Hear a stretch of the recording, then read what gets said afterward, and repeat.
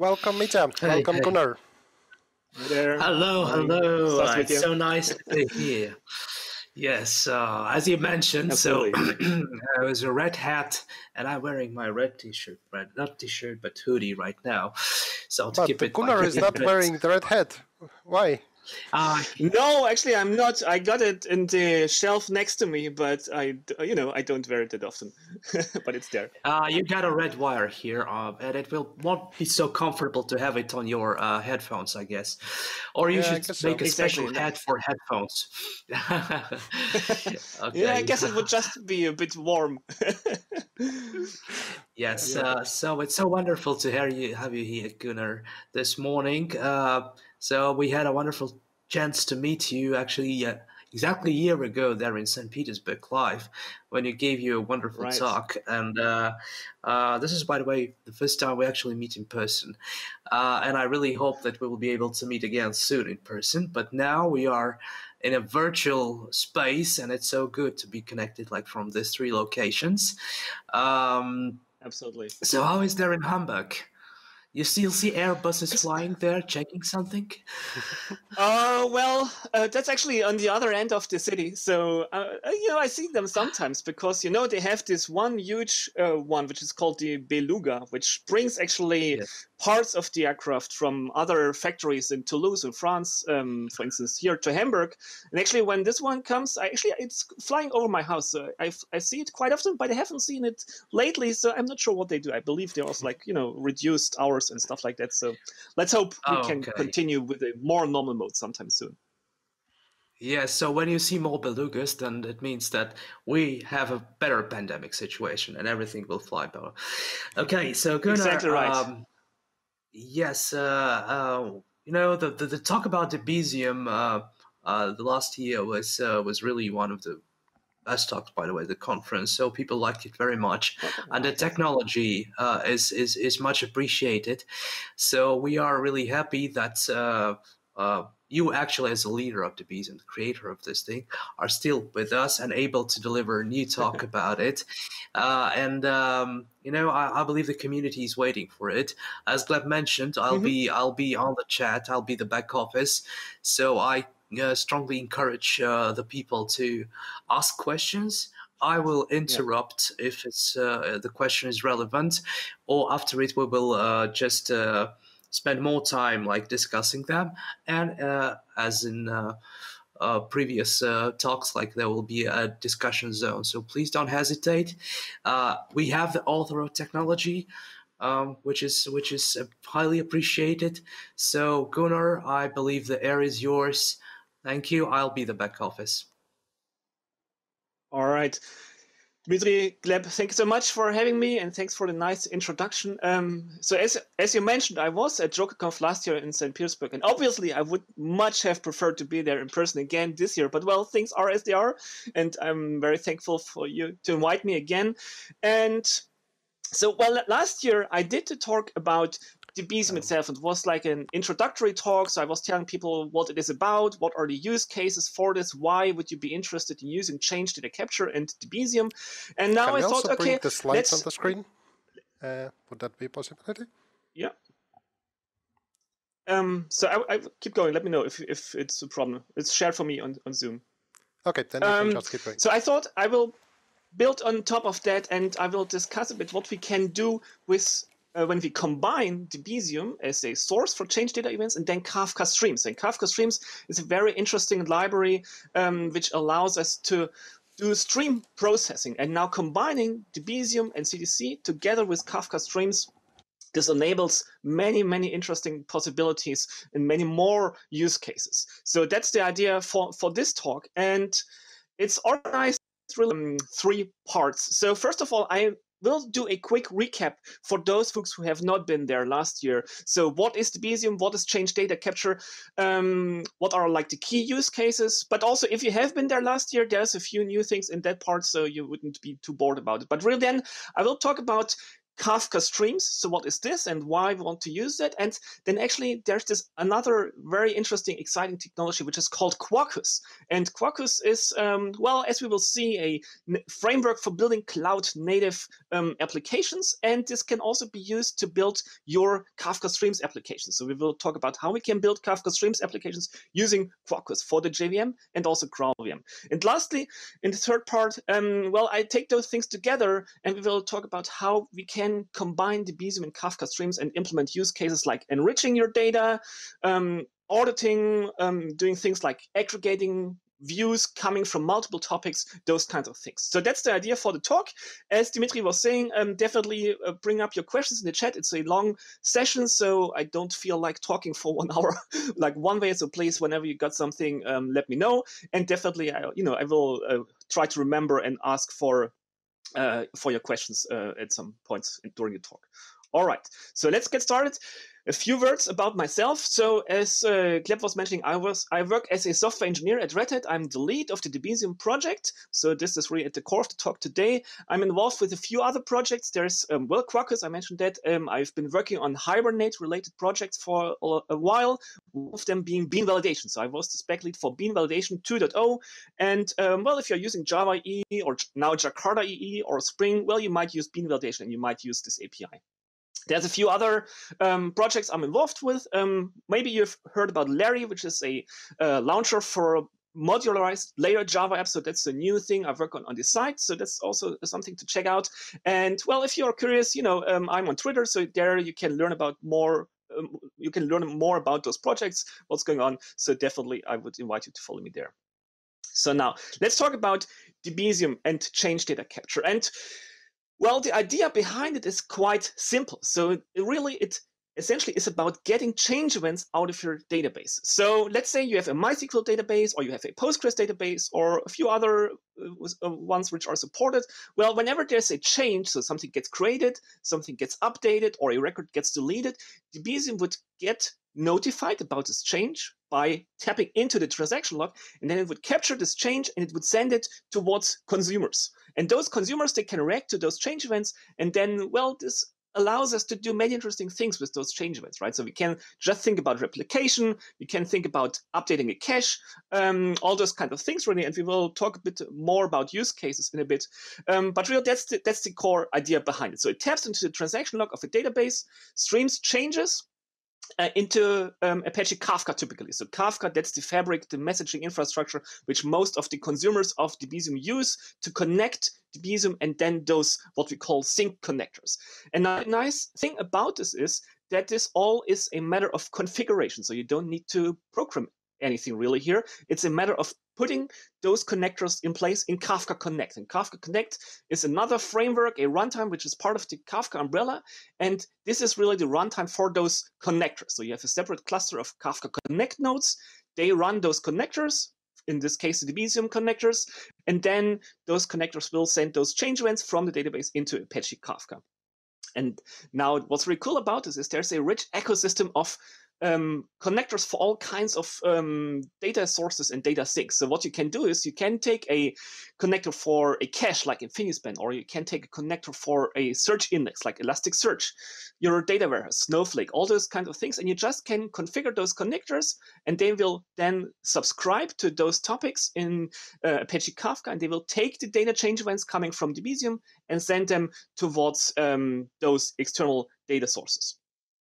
Now, um, uh, there's you know there's really like hundreds of connectors out there, and one which I think is in particular interesting is the Apache Camel uh, connector. So maybe you've heard about Camel, which is a rich integration framework, and now they also support running all the Camel connectors via Kafka Connect. So bringing like those hundreds of Camel connectors into this Connect ecosystem.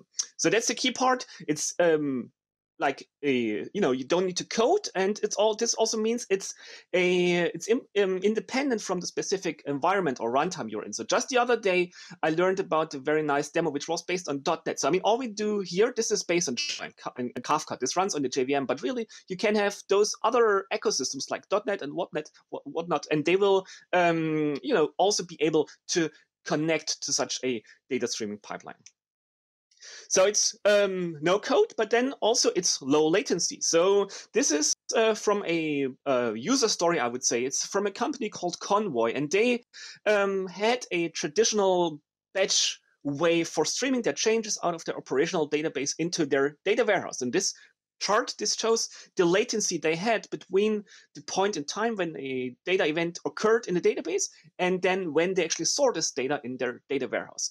And you can see, well, this used to be, uh, well, first of all, quite volatile, and it was fluctuating between like one hour, sometimes even three hours, so quite quite a delay. And then you can see, well, at some point they switched over to change their capture into Debezium, and suddenly they have this very low latency. So now this would be for them, maybe it's in a matter of minutes until they have that data in the data warehouse, but really you can even go further below. So I'm aware of users, they connect their MySQL databases via Debezium to Kafka, and then they have a sink connector for Google BigQuery, which is their data warehouse. And they have the data in the data warehouse um, in less than two seconds. So really, it's like near real-time analytics, which you can do um, by using this technology. So this is why I'm really excited about this.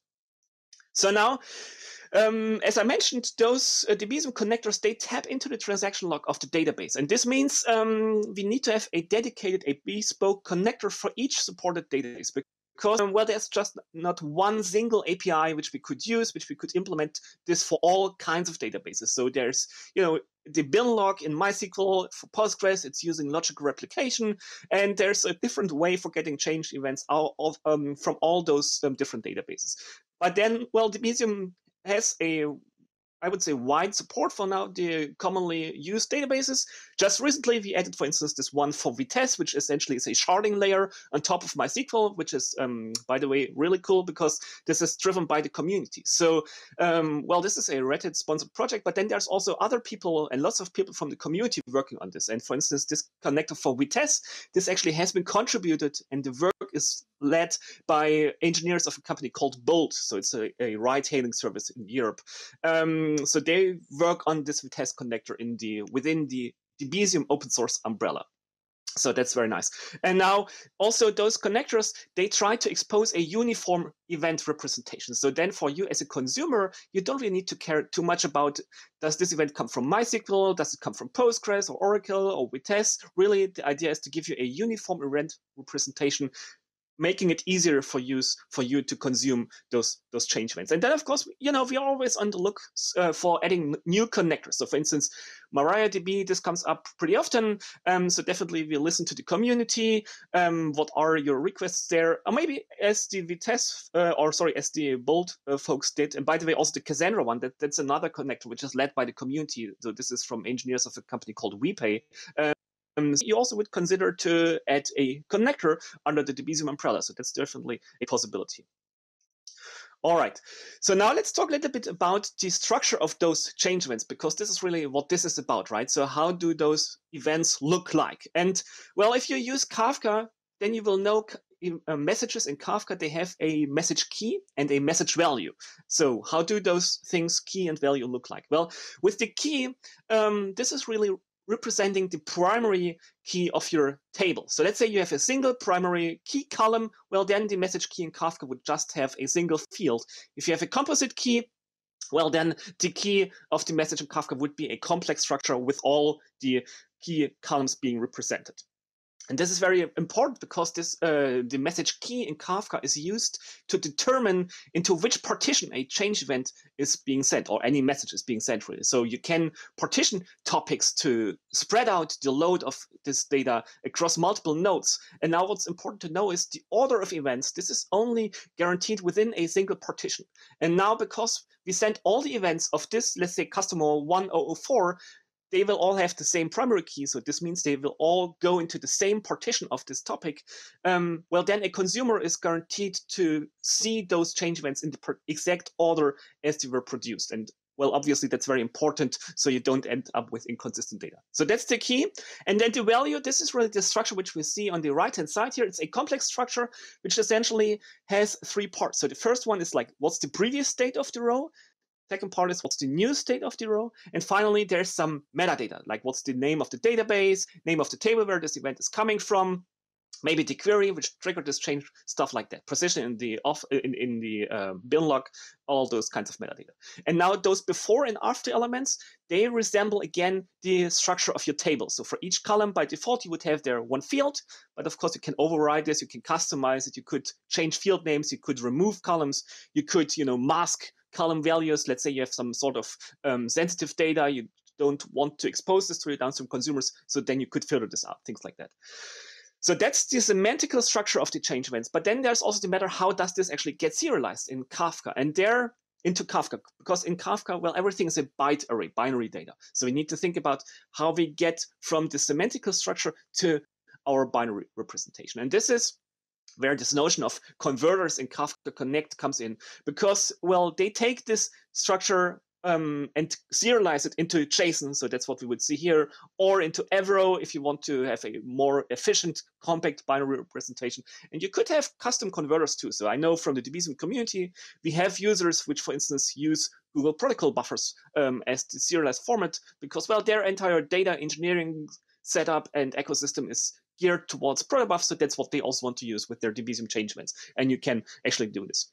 And then there's a very important um, component to mention in this context, and this is a schema registry. And the thing is, well, a consumer they need to know how to interpret such a message which they receive. So um, in case I, I, think it's apparent because you just get this binary data to know what is the Avro schema.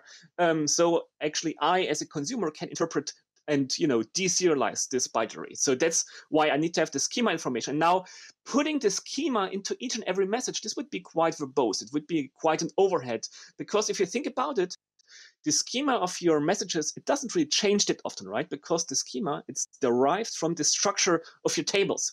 And you don't do, well, typically you don't do DDL changes every day. You don't add a column or you don't rename a column like every day. So this means your schema, this is pretty constant and putting it into every message would be, uh, well, just an overhead. And this is why such a schema registry is a very good thing because it allows you to externalize the schema information. And then it would look like this. So you again have the simple pipeline with the Debezium connector. It gets data from Postgres, sends them to Kafka topics, and then there's some sort of sink connector, Elasticsearch in this case. Now you have this external component, which is the schema registry, and you have different options there. And one of them is um, the Apicurio registry, which is an open source, a fully open source schema registry. But then there's also in the Cloud Events umbrella, they work actually on a spec for having a standardized schema registry interface. So there's quite a few options there. And now what happens is, by the way, Gunnar, the source. Uh, may I just sure. interrupt you for a second because we got our first Absolutely. question actually from Nikita. Sure. As you were mentioning, as you were mentioning uh, Postgres, uh, there is some issues with the Postgres connector, I guess, in Debezium. if Postgres is clustered okay. with two instances, there are some cases where we might lose data uh, when failover is happening. Well, are there yes. any, any specific settings to avoid this to guarantee 100% reliability? Yes, so yes and no. So first of all, wow, this question goes straight to the meat of it, and definitely, so this failover situation in Postgres, that's um, that's a limitation, that's for sure. Unfortunately, right now, there's not much we can do about it from a Debezium perspective, because the thing is, um, well, we use there what's called a replication slot, and this replication slot, this is essentially, you know, uh, our connection to the Postgres database, and also describes how far have we consumed this uh, the, the, the transaction log to write-ahead log in Postgres. And now what Postgres at the moment still is lacking is over replication slots. Right now, you just don't have a way where you would be able to, um, you know, take this replication slot, resume it from a standby, which now maybe is the new primary node, and you would be able to continue from there. So that's a limitation in Postgres. So what you typically can do there is, um, let's say if you pl plan ahead for the failover, you can essentially go your uh, with your application to some sort of um, read only mode. So you essentially uh, have a phase where you don't do any writes if this is possible from, from a business point of view. And then, well, you could have Debezium consume all the change events from the old primary, then fail over, start with a new slot, and you would just be sure you wouldn't have lost anything. Then the other option would be to do um, what's called a snapshot. So actually, um, what the Debezium connectors also can do is they can take a you know a full snapshot of the current data um, and then resume the log. So this would be like, I guess, after such a failover with Postgres.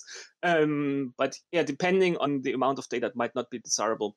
So long story short, um, you know, there's some ways to work around it, but definitely it's a limitation, which I very much hope will be addressed in Postgres anytime soon. Well, thank you so much. So I guess I hope... Nikita, when you have more questions, join us at the discussion zone to go to into deeper details. I guess. Okay, Gunnar, let's go ahead. Right, thank yeah. you, thank you, Nikita, for the question. Yeah, absolutely. Right. So coming back to the schema registry, so what would happen is a you know the converter on the source side they would put the schema into this registry and they would just add a message ID uh, sorry, a schema ID to the actual messages which are sent to Kafka. And then the converter on the sink side, they can go to the registry and resolve the schema and interpret the message there. So that's the way um, to work with the schema registry, and it allows you for much more efficient messages, uh, less overhead, and things like that. So that's definitely what people use a lot in, in production.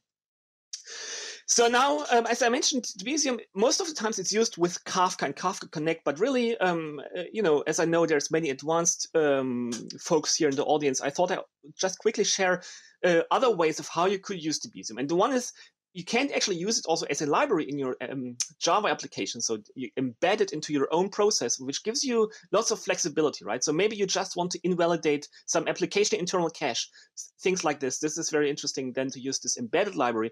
And then we also have what's called Debezium server. So that's a pretty new component of Debezium.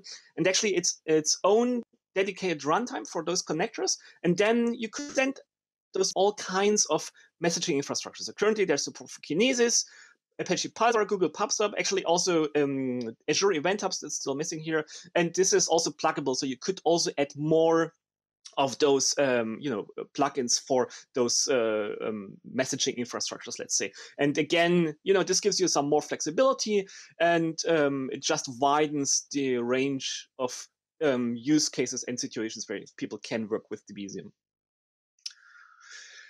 Okay, so um, and what I sh also should mention now, because I see this question comes up pretty often. So why do we actually do this kind of log-based change data capture? Couldn't we also go to the database and just query for changes? So we could go to our tables and ask, hey, has there been some data change in the last five seconds? Things like that. So that's what I would call a query-based CDC approach. And now the question is, why would I not? Uh, what, what's the difference really? I would say, well, there's um, quite a few advantages to the log-based approach. So first of all, you will be able to capture all the changes. So um, if you think about the query-based approach, well, um, let's say you have two updates in a very close time um, to each other. Um, it might be if you have this polling based approach, you just miss the first update. You only see the current state when you do the polling, right? So this means you wouldn't be able to capture all the events. And then you also would not query like every second because, well, this just creates lots of load on the database.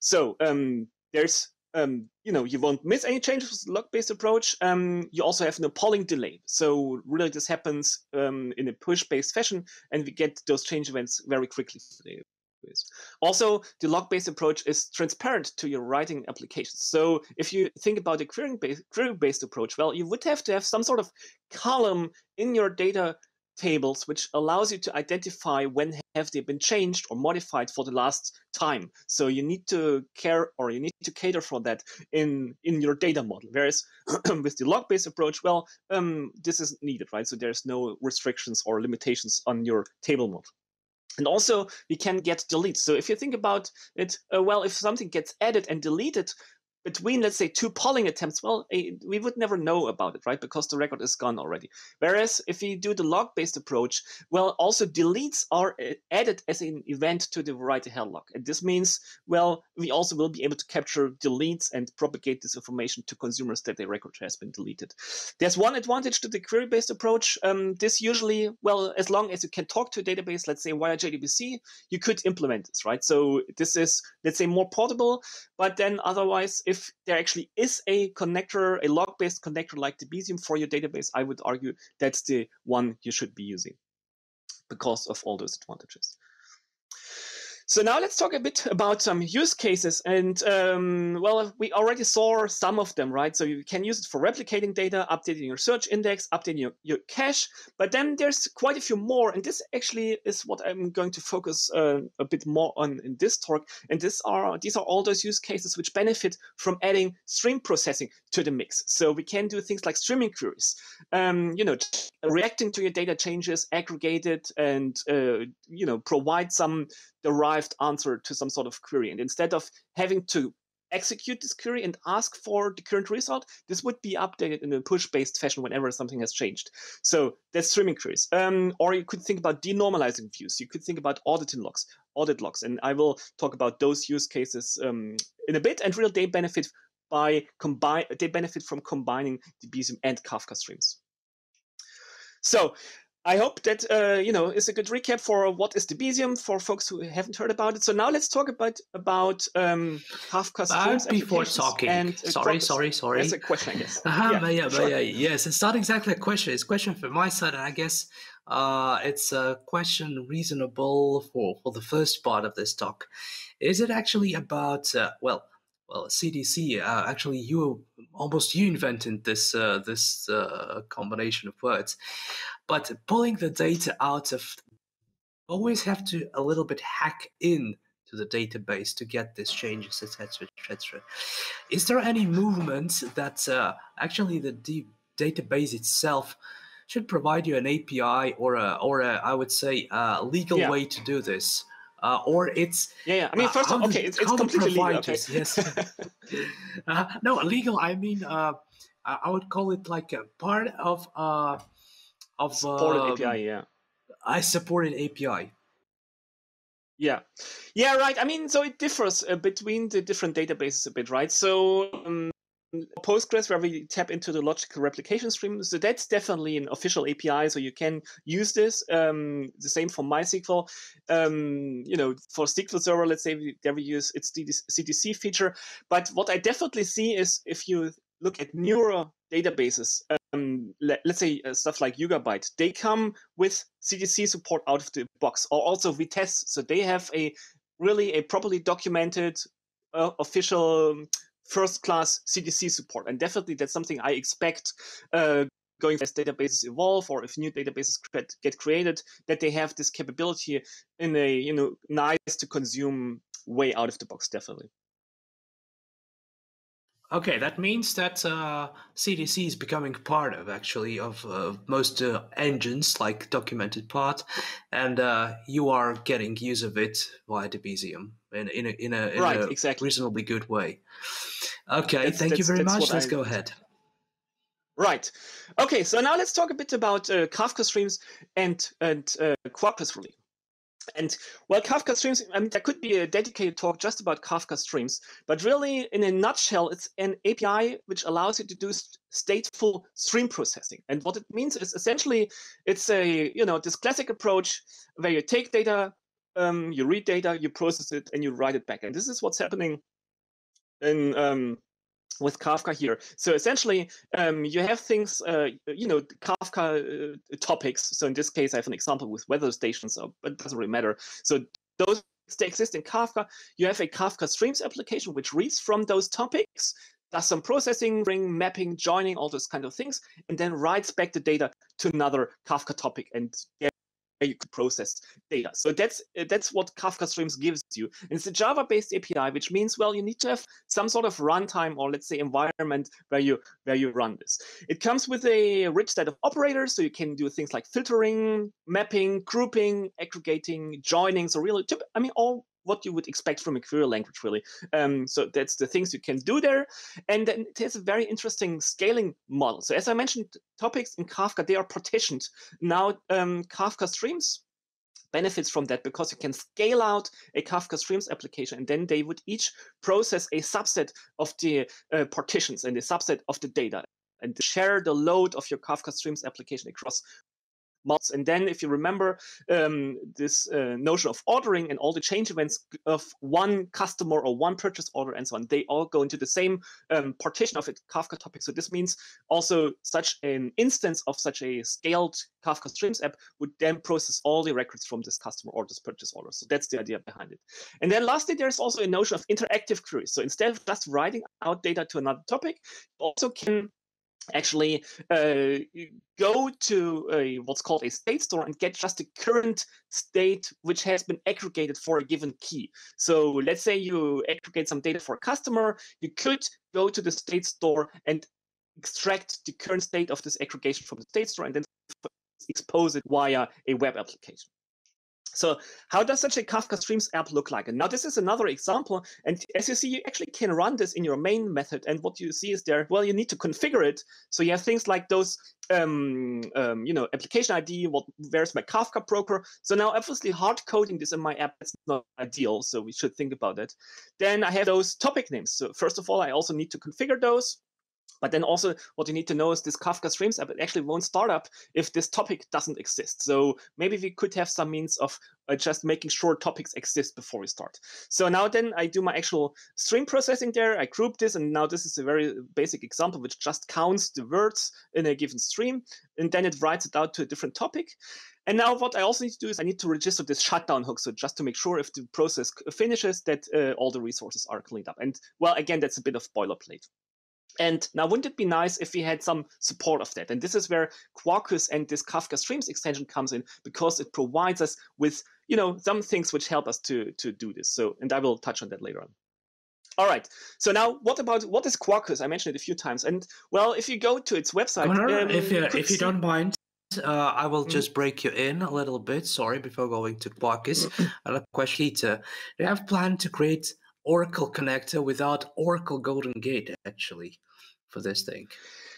Yes, uh, so we do have uh, now an incubating implementation which is based on the Logminer package. Um, so this is part of the Oracle database. You can use it as part of your, you know, this is common license. And we have an incubating connector which takes advantage of that. So you don't need GoldenGate, you don't need uh, to have its license. Um, so this is definitely something you should try out. It's currently work in progress. This also has been contributed by the community. So definitely we would appreciate your feedback on that very much. Okay, lovely. Thank you. Uh, now we can switch to Quarkus. Right. Thank you. Right. Cool. So Quarkus. And you know, just to give you the definition, the definition from the website, um, well, it's a Kubernetes native Java stack tailored for OpenJDK hotspot and GraalVM, so it targets those both runtimes, crafted from the best of breed Java libraries and standards. So now, what does it really mean, or why do we have the thing? And well, I would say the motivation for coming up with Quarkus is that um, you know the guys working on this they figured out well Java is a bit of, of at the risk of falling behind when it comes to implementing your workloads on the cloud. So there is things like you would quickly rescale your application. You need to start, you know, let's say you have tons of requests coming in suddenly, you would like to scale up this application to many nodes. And now if you have a Java application, which might not be super fast to start, a consumer would just have to wait for a new node to come up. So you want to quickly scale up, also scale down. And then also you want to do this sort of dense packaging, right? So you want to have many uh, nodes potentially on your Kubernetes cluster and well, a traditional JVM process and framework, which takes lots of RAM potentially, this is just not ideal for this kind of deployment, I would say. So this is the this I, I think is oh that's the motivation really which led to Quarkus. And now um, let's think about it. Why um, and um, well, as I mentioned, the JVM, this is um, you know it has been designed for high throughput, low latency, long running processes. It hasn't been designed uh, with things in mind like just giving you the quickest start- startup. So when Java was created, well, nobody was thinking of things like AWS Lambda or Knative, where you really want to start up in milliseconds, so you can have a good cold start performance. So nobody really was addressing that back in the day.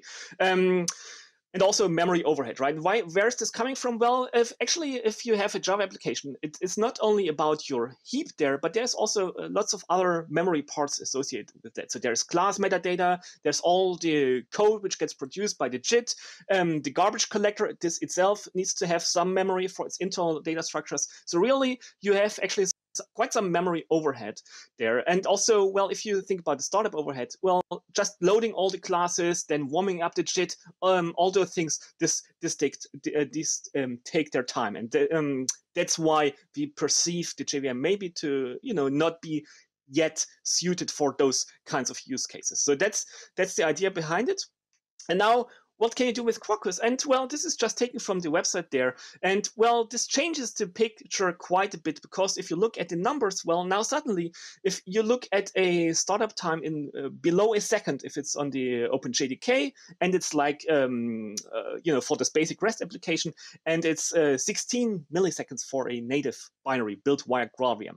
And the same if you have like a REST and CRUD application, it's a bit more, but being able to start this up, and this is the time to first runs for that's definitely something. And now we actually can do those things. We can start up this process if a user comes in and maybe we need to cold start this instance instance. So this gets possible.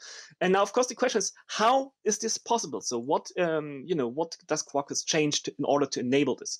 And by the way i should say well for kafka streams well be maybe this startup improvement this is not so interesting because our you know kafka streams app this is running for some time. But then um, the memory improvements which we get here this is definitely interesting for kafka streams because as i mentioned it has the scale out model. And now if we can you know have many more nodes uh, they just each consume a small amount of memory. And uh, you would get away um, i believe maybe with 40 megabytes or something like this even including a web server for basic kafka streams app. So you can just package those apps in the cloud more densely together so that's that's why this is also interesting for Kafka streams.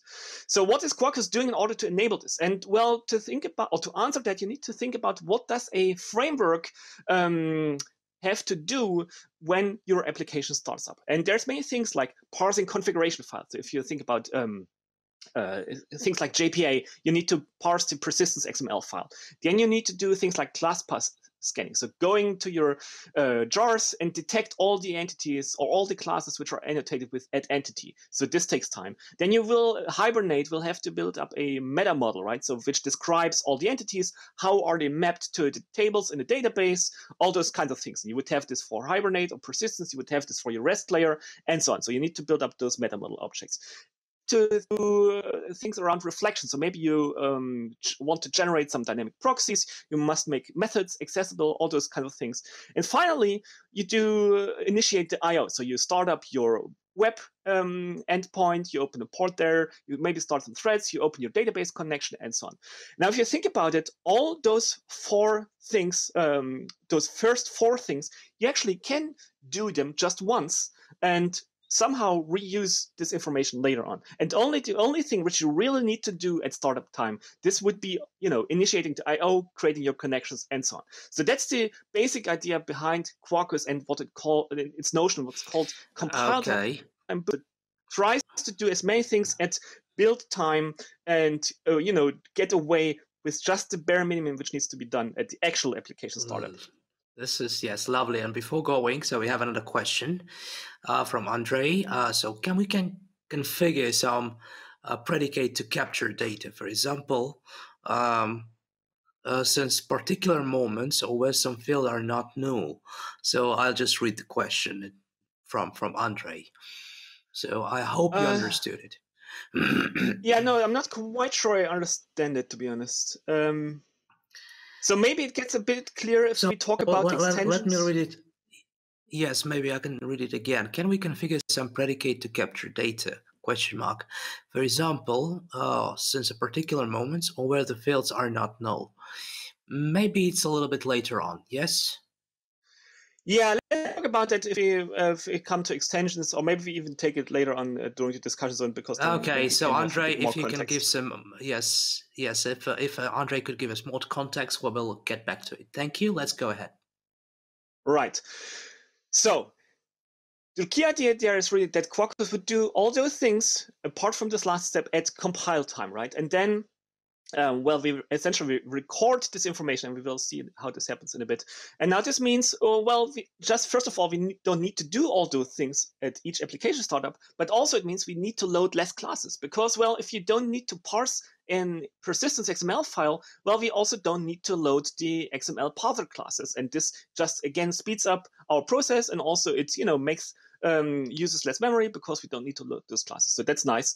Um, and then also, you know, we don't need uh, to do or maybe less reflection, which is just nice if you think about using this with a native binary. So that's the idea. And Quarkus compile time boot, do as many things as possible at compile time and less things at actual application startup time. So now, um, this actually is implemented via such a build pipeline. I'm not going too much into details there, but what essentially happens is um, there's a set of extensions which do all those things for you at the build time. So let's say there's an extension which takes care of Hibernate, and now this makes sure the class path scanning, this happens at build time, and then um, essentially bytecode uh, gets uh, recorded, which then later on can just be executed to, you know, evaluate this information. So that's the core idea. Also, you know, does things like creating an index with all your annotation metadata. So let's say bean validation, there we need to have information about all our all our constraints. Um, this gets added to an index, which then can be very efficiently consumed and interpreted at, at runtime. So that's what you can do.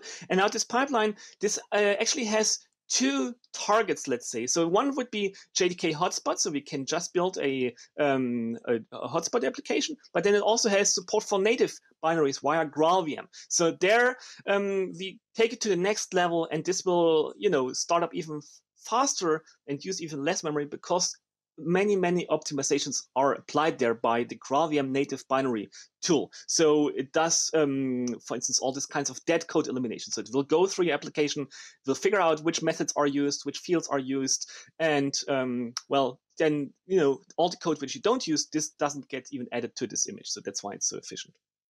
So, but also I should say Quarkus targets very much the JVM. So by doing all those things already at um, build time, also our JVM processes benefit a lot from that.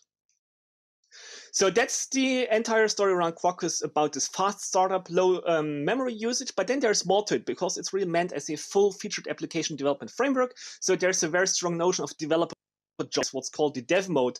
This this shows you um, how to um, uh, you know, uh, or this allows you to work on your application and very quickly get feedback uh, while you do so. You don't need to reload it and, and, and things like that. There's a notion of uh, it allows you to combine imperative programming. So if things like um, reactive APIs, uh, this is what you enjoy, you can do this. And also it integrates with lots of libraries. And actually for our use case as well, what's interesting is Kafka. So we have support for all the Kafka clients and producers, Kafka streams, but then also the micro profile API. And this is actually a set of specs which gives us uh, things like configuration, metrics, health checks, and well, this, as we will see, is also very interesting for our purposes. But then there's other extensions for things like Vert.x, um, Camel, Hibernate, RESTEasy, all those things, and really they take care of integrating those things with Quarkus. So coming back to those extensions, really, it's it's essentially it's first of all it's the notion of distribution. So this is how you would pull in a specific thing like Kafka Streams. So you would pull in the Quarkus Kafka Streams extension, and then what it really does is it takes care of making sure this um, library which gets integrated works well within this Quarkus universe. So it you know tries to do all the things like class path scanning, metadata building, tries to trigger this at build time, port information into bytecode and just make sure that this integrated library works well in, in the Quarkus um, ecosystem. But then it also takes care of enabling those things in Graal VM. So as I mentioned, um, it does this dead code elimination. So this means if you do um, load, uh, let's say you do some things via reflection, um, well, the dead code elimination would remove those classes because, well, it wouldn't be able to find out that you actually reflectively try to instantiate some class. So you need to tell the GraalVM native binary tool, well, actually, that's a class I'm going to reflect on. So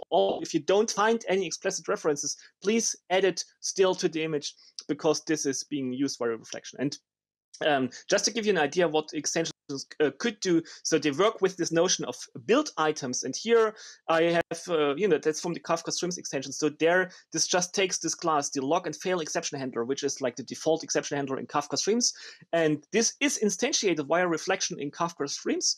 And now this is extension makes sure this is registered for reflection so that if we compile this down to a native, uh, native binary, then um, you know this class is still present. And of course, um, there's a range of build items what extensions can do. Um, you know, adding classes, they can generate new classes, they can generate CDI beans, they can add resources to the image, um, and there's like a really big range of extensions but this is just uh, to give you an idea how this would look like. Now, in terms of Quarkus, uh, sorry, in terms of Kafka streams, what it really does is, and we'll see it in the demo, so it takes care of starting up the pipeline, making sure all this shutdown hook business is uh, done correctly. It gives you health checks, so you can take a look at what's the status of my application. Metric support is just got added, so you actually can expose your metrics via HTTP. And this is important because in GraalVM native binaries, you don't have support for JMX. And well, Kafka Streams by ex default exposes its metrics via JMX. And now, well, by doing this um, uh, via HTTP and micrometer, um, we can expose this to our external metrics consumers. There's dev mode, so we will see in the demo, this gives you quick feedback while you work on such a pipeline. And then it also takes care of integrating Kafka streams with the Graal team does all the reflection configuration for the SerDes, exception handlers, takes care that RocksDB, which is used for the state store, that this actually can be used and this is added to the native binary. So it makes sure all the things work just out of the box via the JVM, but also via um, native binaries in GraalVM. So that's in a nutshell Kafka streams um, and Quarkus. And you know, I did explain a bit more about Quarkus than we would need it for our purposes here, but I felt it's interesting to give you some context why Quarkus is so interesting. And well, we can not only use it for Kafka streams, but also for our regular web apps, um, even CLI tools if you wanted to. So really, it is a general, generic purpose application framework. So that's that's the idea. Any questions at that point, Dimitri? Uh, actually, uh, yes, uh, Andre gave us uh, yeah. gave us gave us more explanation. So I'll try to read it right now. So um, let us do it like this. So I just read it as it is. So I've configured a mm-hmm. connector mm-hmm. A for table A for capturing three of ten columns of a table.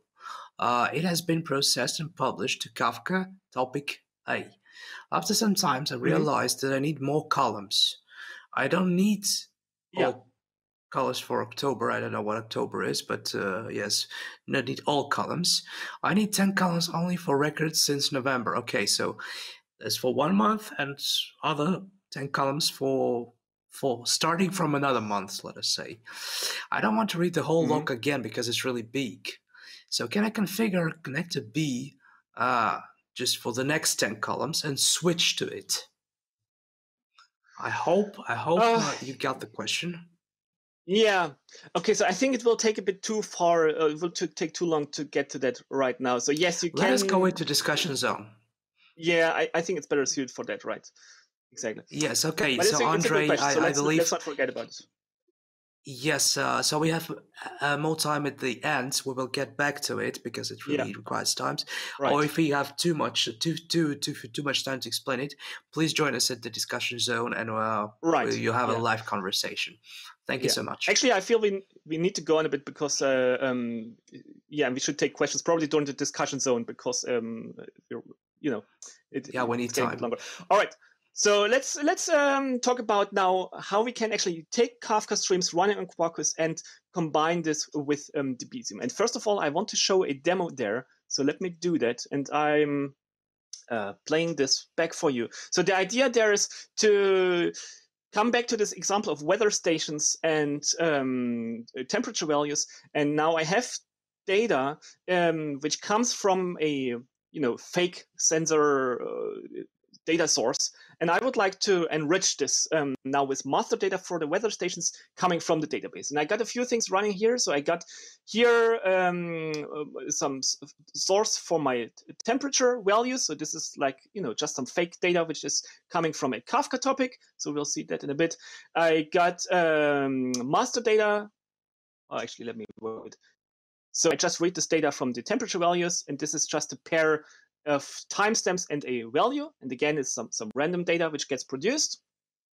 So then I have um, my um, I have my stream processing application here. So now this is based on the on the Kafka streams extension for Quarkus, which means I just have this producer method for CDI.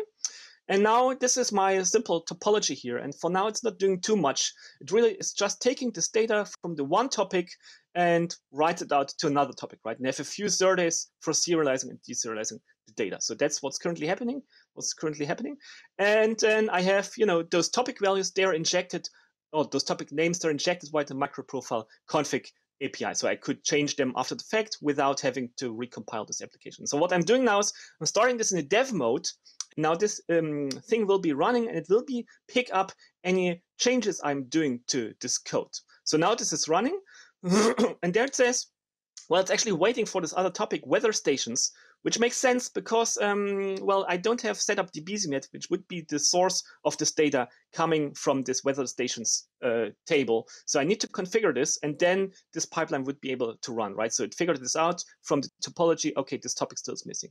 So what I'm doing is, um, and actually I also can see this in the uh, via the health check API. So if I were to run this in production, I could have this HTTP health check, and then I could see, okay, um, you know, this uh, uh, topic still is missing and some administrator could take care and set up the connector.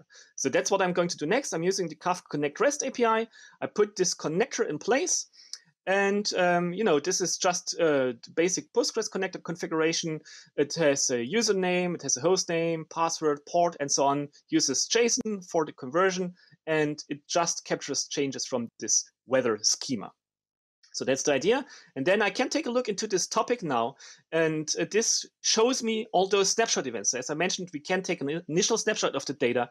And this is what we see here. So for all the weather stations in this table, I see the initial data. Now there's no changes here yet because, well, I don't change the weather station master data. But so I have the second topic now. So that's good. I see all its attributes. And now I actually can go and make use of this topic in my Kafka Streams application. So that's what I'm going to do next. Uh, I'm going to, um, you know, move forward and implement this application. And the idea there is uh, working with this dev mode. I take a look now at this output topic. So this is where my application writes to, this temperature value enriched topic. And for now, I'm just taking the values from the source topic and write them to the target topic. But now what I can do is I can modify this. So here, I'm going to split them up at the semicolon, and then I actually join this with this um, master data topic for the weather stations. And I need to change the SerDe for that. Um, so I use this JSON object SerDe. And now the nice thing happens, I just hit save, Quarkus picks this up, and then as I keep examining my output topic, this will pick up the change there. Now I see, okay, this is what my application produced now. just going to restart the consumer with JQ, so it's a bit uh, limited. But actually now I can keep going and work on this pipeline and see, you know, um, how the output on this enriched topic changes. So let's say I want to, um, well, actually now I'm doing the join. I was a bit ahead of time. So now I'm doing actually this um, this join there. Um, so I take the data from the other side of the topic, uh, add the station name, the coordinates, and then again, I use another SerDe for that. And um, I hit save once more. And actually, I'm using this um, SerDe, which comes from Debezium, the, um, which uh, just takes this new state of my change events out of the uh, out of the records and produce, uh, you know, deserializes that. So that's what's happening there. And then I can take this and, and, and save it. And now I see those attributes which come from the other side, like the name, the coordinates. I see this also in my in my topic there.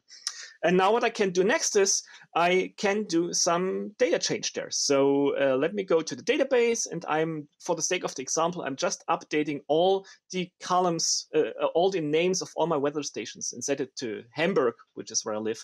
And then you would see in this output topic, okay, so now Hamburg that gets joined into the day, uh, into this output topic there. so that's how I can uh, keep working on that. And now the next thing really to do is, or just to give you an impression how this feels like. So I'm now doing, so I want to have average value per weather station. So I do a grouping by weather station, by the key, then I aggregate the values per weather station and uh, take the average essentially. Then, um, well, yeah, I need to do uh, again. I need to change the difference. I need to use a different SerDe there. And then, uh, for the sake of the example, I have this nice method which you know just shows a visual representation of my temperature uh, using some emojis. So I also add this into the mix. Um, call this method there, add it as another property based on the temperature value. Um, I hit save once more, and then I'm going to see how the output looks like now with the average value and also with the emojis on the uh, uh, on this output topic. Now, I hope this gives an idea as to how you can work using the dev mode uh, on this pipeline, explore how your changes um, would you know be consumed, and I, I, feel it's a nice productive way on working uh, of such kind of application. All right, so let's get back to the slides there and I should go here. So, and this is really like first use case you can do if you combine um, Debezium and Kafka streams, you can enrich a data stream which you have, in this case, those temperature measurements, and enrich it with master data coming from a database by joining those two things together. So the next one I wanted to talk about is auditing. So very often people would like to have an audit log of their data. And also, you know, a Kafka topic with change events, that's a little bit like an audit log already. Um, but then we want to have some metadata, like what's the user who did a certain change or what's the use case identifiers, things like that. And we cannot capture this from the transaction log because you wouldn't have this table, this data in your tables really. And we can implement this by just um, you know um, expanding our application a bit. The idea is it writes this metadata to another um, table, transactions, and this table would be uh, using the transaction ID as a primary key. So for each um, transaction your application does, it would insert a record with this. Um, it would insert a record with this um, with this metadata there. And now what you can do is you can again set up the Debezium to also capture this transactions table. So you would have two topics there, one with the actual customer change events or whatever your example is about or your domain is about, and you would have the transactions topic. Then you can use Kafka Streams to, again, join those things and enrich the actual customer events with this transaction metadata and write it back to another topic. Now, in terms of data, how does this look like? Well, here I have my customer change events, and here, this is how my um, transactions topic and the events there could look like. Now, if you look closely, you have the transaction ID on both sides. So our Debezium change events, they have a transaction ID as part of the source metadata. And now this transactions topic, this also uses the transaction ID as the primary key and in turn also as the message key in Kafka. And this is how I can correlate those events. So actually I can take now the data from the transactions topic for my given transaction and for instance, write it into this source block, right? So the user use case, whatever metadata I have. And then I could write it back to this enriched topic and I would have a nice audit log, which I either could keep in Kafka if I have a long retention there, or I could write it out to another um, data warehouse where I would like to have this data and I would be able to see the history of my data, including this metadata.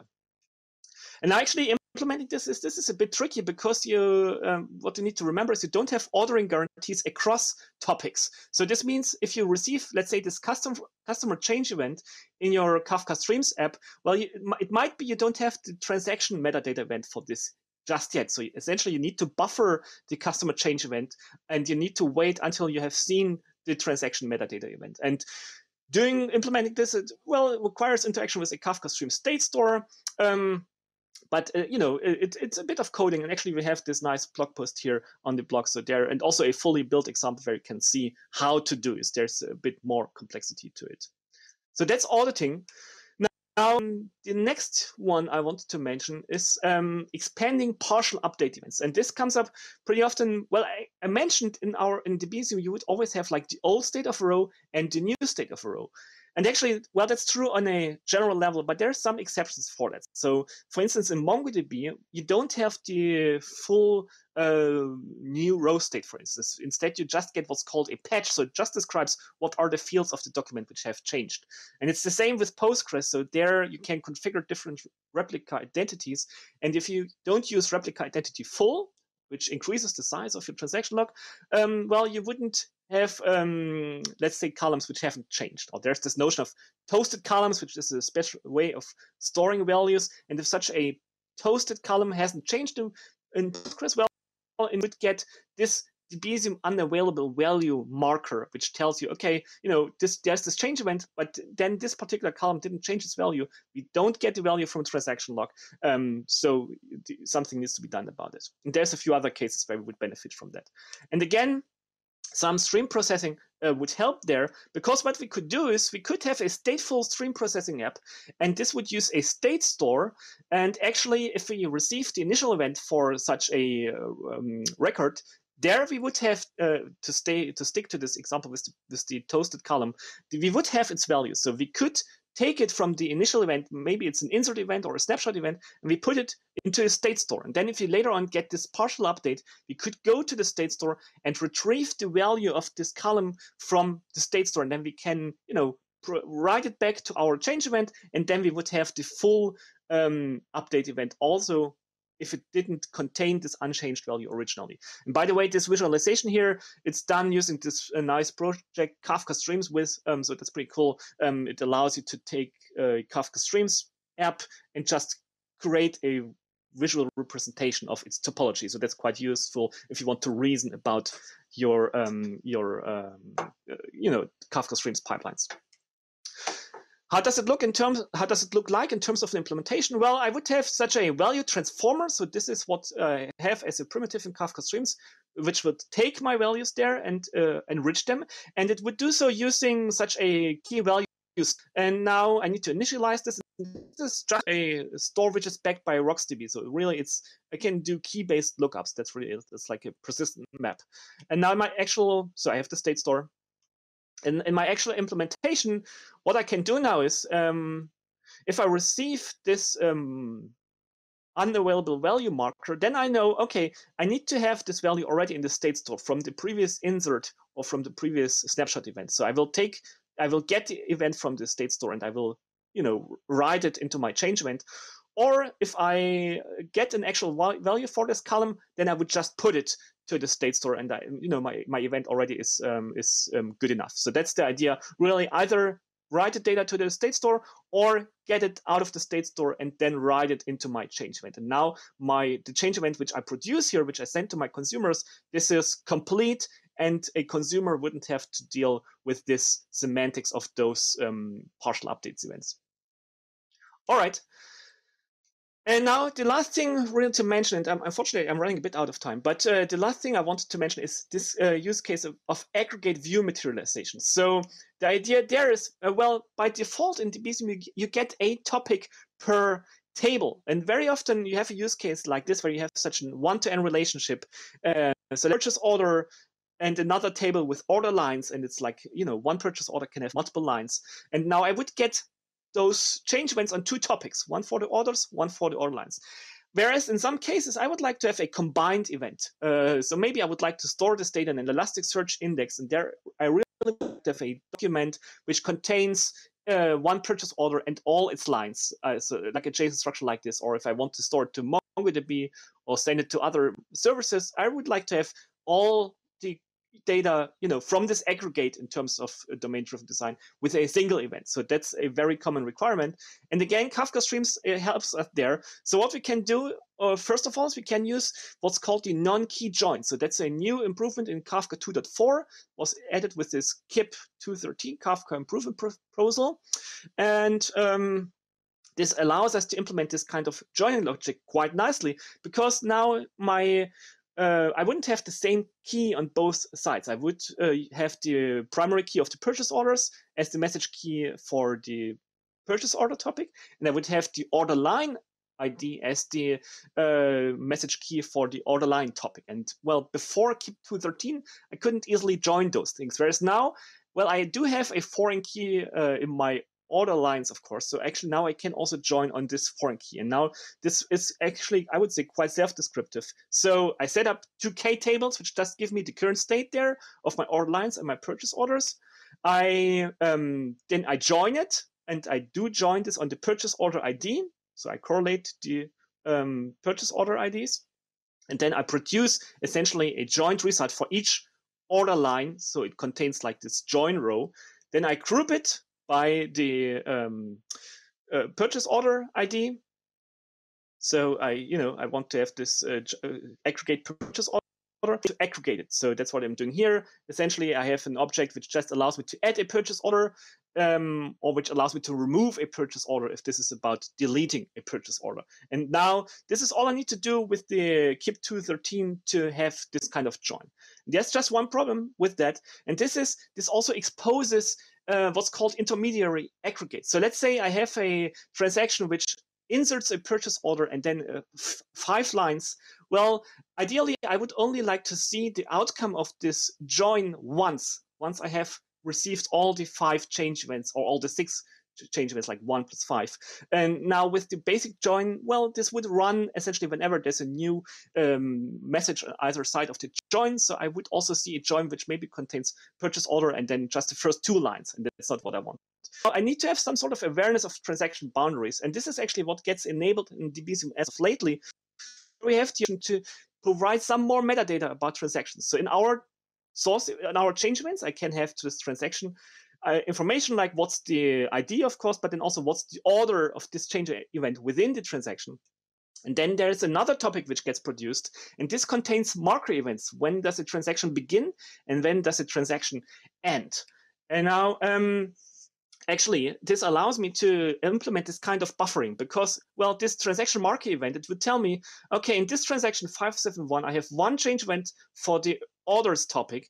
I have five events for the uh, order line topic. Now I could implement a Kafka Streams application, which you know does this sort of buffering, and it only would emit the join result once it has received those six events. So, and then I wouldn't have emitted those intermediary aggregates. So um, I don't have a uh, you know ready-made example for this yet, but I, I think we will have something about this on the blog. But then there's you know the means of doing this, this is provided now in, in Debezium, and you can actually make use of this transaction metadata topic.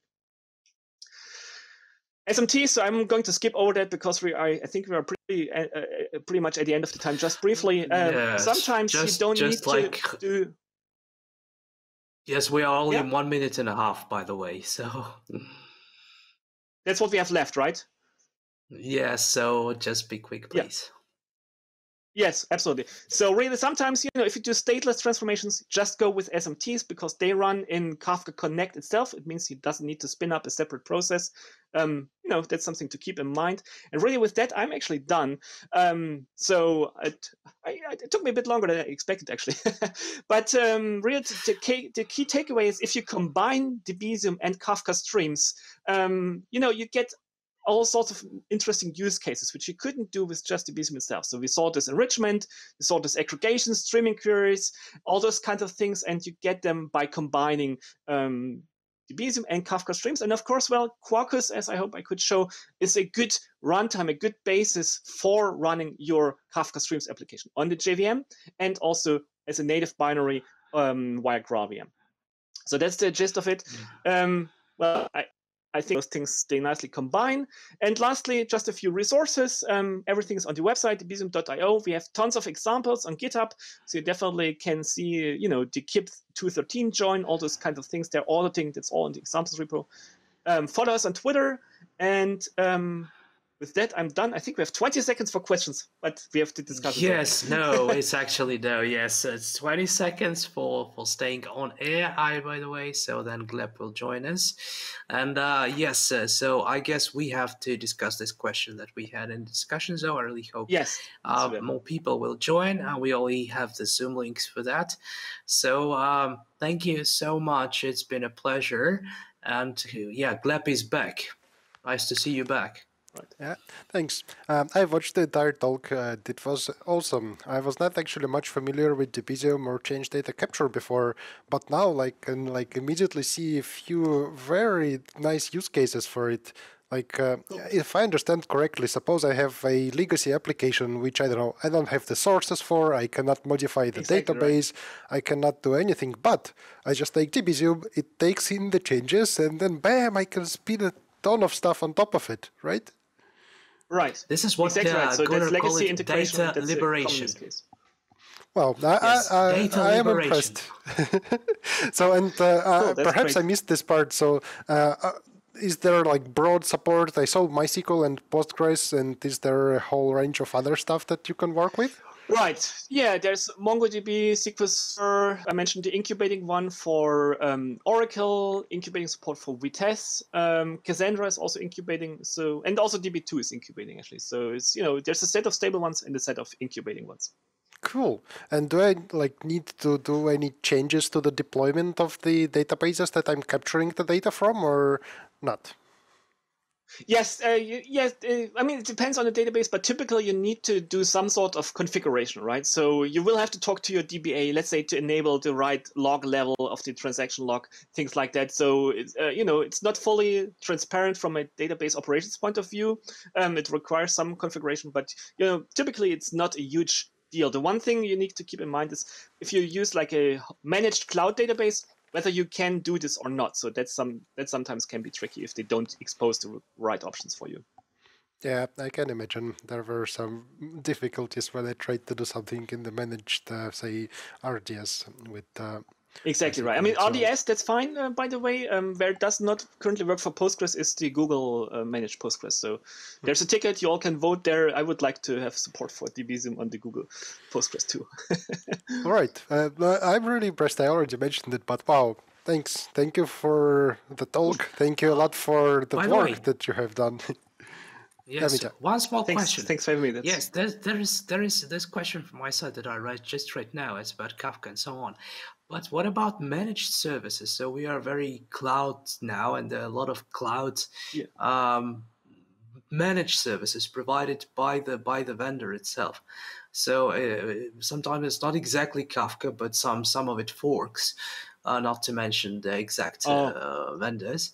Yes, uh, uh, are, are, yes. Uh, do you actually support this, or did you have the use cases? Right. You, yeah, uh, so definitely. I mean, um, sure. yeah, a few things. Really, um, well, first of all, you can always run Connect yourself. Oh, Kafka Connect. I, am yourself, sorry right? to interrupt. So uh, uh, but would you mind taking this question to the discussion zone because we do have to switch to the next one on this track. Oh and, yes, by the way. Yes. Uh, I guess it's a perfect time to just uh, get the link that you have to the Zoom chat to the discussion zone and invite all the audience right. there. Mitya will be the moderator, and I think you will have a lot yes. of fun. Thank you so much. You see, yeah. even cool, even seventy five minutes is not enough. Yes. yep. Yeah, I'm I'm nice. surprised actually because I did not expect that. All right. See you.